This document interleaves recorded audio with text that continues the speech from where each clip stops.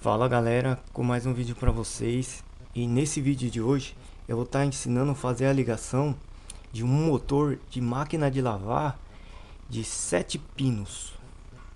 Aqui ó, ele tem 7 pinos. Alguns motores vêm com 5 pinos, outros com 6 esse meu veio com 7, não importa a quantidade de fios. É, o importante desses motores é você achar o fio neutro, o que vem direto da rede, entendeu? Que vem aqui, ó, da tomada e vocês vão ter que ligar esse fio neutro diretamente no motor, certo? Então esse fio é o mais importante de todos, de você achar, porque ele vai diretamente no motor. E como achar esse fio neutro daqui? Então galera, eu vou estar tá ensinando como é, fazer as marcações desses pinos, certo? Aqui ó, no, mesmo que não venha com esse soquete aqui ó, soquete, né? É, vocês faz a numeração número 1, número 2, número 3, vai numerando, é o importante é numerar esses fios. Eu numerei é esse pino como 1, 2, 3, 4, 5, 6, 7.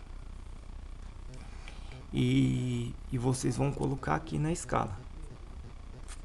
Aqui, ó. 1, 2, 3, 4, 5, 6, 7, certo? Aí vocês vão pegar o multímetro e colocar na escala de ohms, continuidade aqui, ó. E vão encaixar é, a ponta a ponta, a ponta mais aqui no primeiro pino. E vocês vão pegar a ponta neutra e encaixar aqui, ó, no pino 2, certo?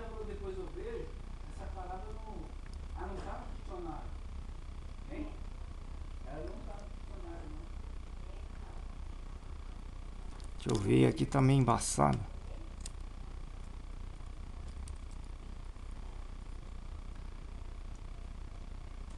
Olha lá, deu 14 ohms, ponto 6.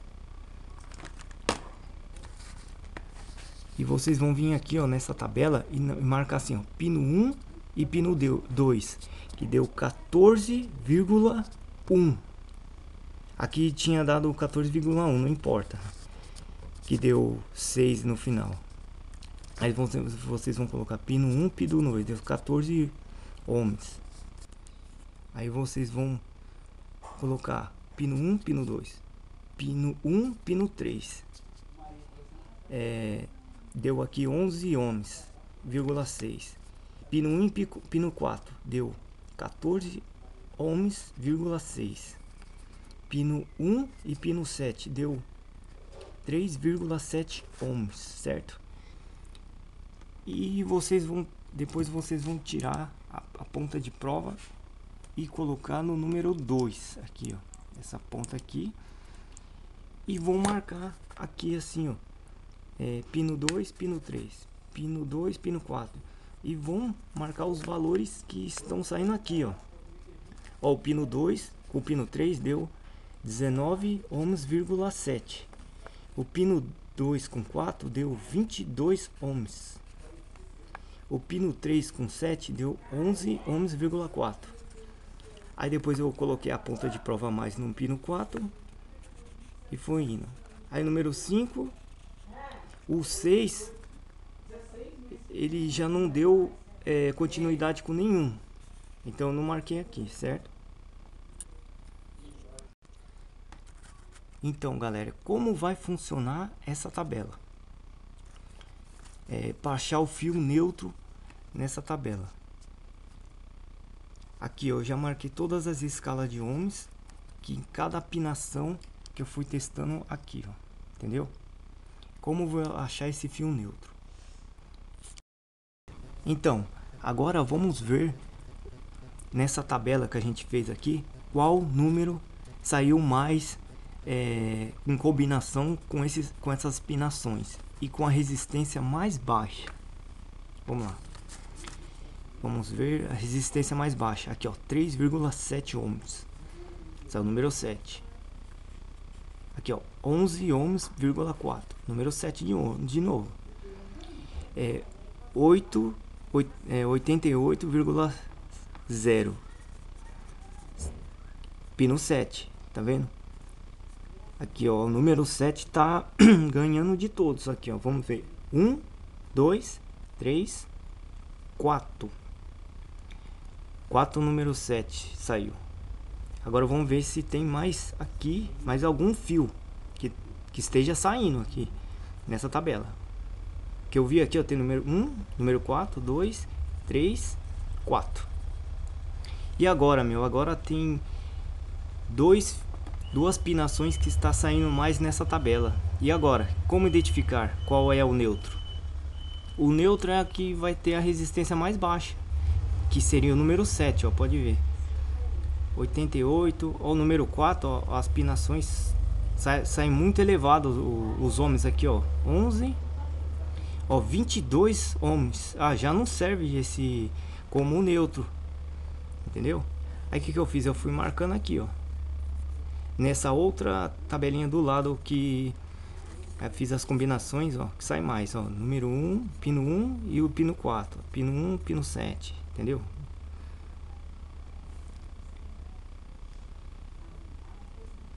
Então, no nosso fio neutro seria ou a pinação 7, que seria esse fio aqui, ó. A, é branco e vermelho aqui, ó, pinação 7. Então eu vou ter que puxar um fio aqui, ó, direto da rede, o azul. Que eu já coloquei nesse soquete aqui, ó. Seria o número 7. Ele vem direto da rede no, no pino 7. E agora como fazer esse motor é, girar? Esse motor possui um capacitor certo? E o esquema de ligação do capacitor tá aqui também, ó. Vai vir um fio da rede e vai ser conectado aqui no capacitor, numa perna do capacitor. E vai sair outro fio aqui do capacitor que vai ligado no motor. E o outro é, fio que vai sair do, vai sair do capacitor vai ligado no motor também. Entendeu? Que seria a ligação assim, não sei se eu vou conseguir mostrar. Aqui tá uma bagunça aqui. Aqui, ó. Esse fio sai direto do motor e esse vai em paralelo aqui, ó. Ele sai direto do capacitor. Esse daqui vem da rede e esse daqui sai um outro fio que vai direto no motor. Aqui, ó, no motor. Certo? E agora, como eu vou identificar as velocidades do motor? Porque cada pinação dessa, o motor roda numa rotação, certo? Eu fui marcando aqui também, ó. Eu fui combinando os, o número 1, um, número 2. Ó. Devagar. D de devagar e não, não combina. O número 2, o número 4. Devagar, também não combina. E aqui eu achei uma, ó. Número 1 e número 3. Rápido, sim, combina. Eu vou estar tá ligando aqui para vocês verem. Então, galera, o fio terra que vem aqui da, do cabo de força, ele vai ser ligado aqui, ó, na carcaça do motor, fio terra, o verde aqui, ó, verde, certo? E o fio neutro vai ser ligado no número 7, no pino 7, aquele que a gente tinha visto, certo? Até isolei ele aqui, ó, porque ele é o principal. E vocês vão ter que fazer as combinações. Ah, lembrando a vocês, se o motor girar em sentido horário e vocês querem que ele gire anti-horário, é só inverter esses fios do capacitor. Vamos supor assim, aqui ó, pinação 1 e 3. Vou ligar esse fio na pinação 1 e esse fio na pinação 3, certo? Ele gira horário. Aí eu quero que ele gire anti-horário. É só pegar esse fio e inverter as pontas, entendeu? Então eu liguei o número 2, eu puxei um fio do número 2 diretamente no capacitor aqui, ó, que seria esse fio marrom. E esse fio que vem do capacitor, eu liguei no na deixa eu ver que pinagem, na pinagem 3. Vamos ver como vai reagir o motor. Eu sei que não é essa combinação, que eu já fiz a combinação e, e deu aqui ó R de rápido deu a combinação 1 e 3 vamos, vamos lá ligar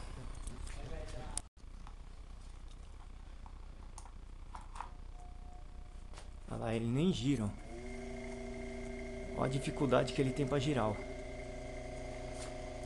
Eu liguei aqui o número o pino número 1 e 2 ó, dei devagar não deu 1 e 2. Agora eu vou ligar na pinação certa para vocês verem como esse motor é a pinação certa. Aí galera, eu já mudei aqui ó a pinação 1 que vem do capacitor e o número 3 que puxei do capacitor aqui também. Vamos ver agora a velocidade.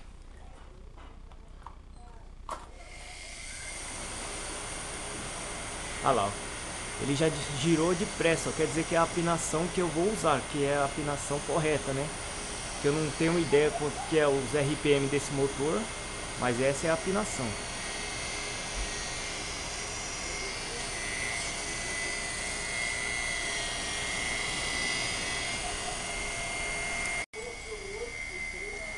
Olha lá, eu desliguei ele, ó.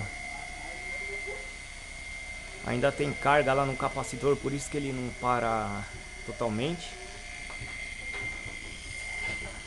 E aqui eu vou mostrar a tabela para vocês de ligação do capacitor. Ó, motor. Aqui do motor vem um do capacitor no motor, outro do capacitor no motor e um da rede que vai direto no capacitor aqui, ó.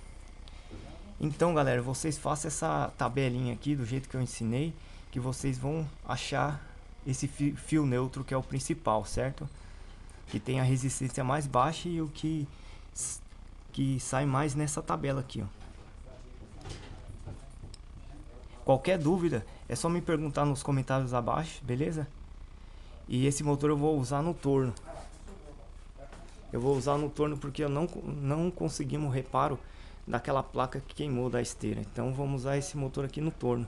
Eu estou pensando em fazer ele várias velocidades Vou arrumar um esqueminha aqui para um esqueminha de chave que vai ter várias velocidades também.